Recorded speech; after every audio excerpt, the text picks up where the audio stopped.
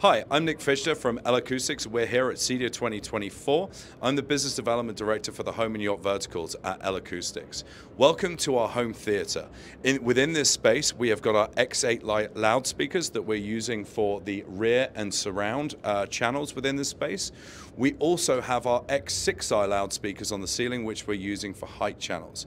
This is a full 11.1.6 Dolby Atmos theatre.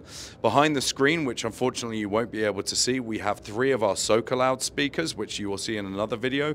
These are the in-wall versions. We have those with SB10 subwoofers to extend their frequency response, and then four Syva subs, which you can see just below the screen there for the LFE channel. This room is all powered by our LA7.16i amplification, and we've been getting some fantastic feedback on this room. So we're very pleased if anyone wants to come and check it out, see what we do. More information, l-acoustics.com.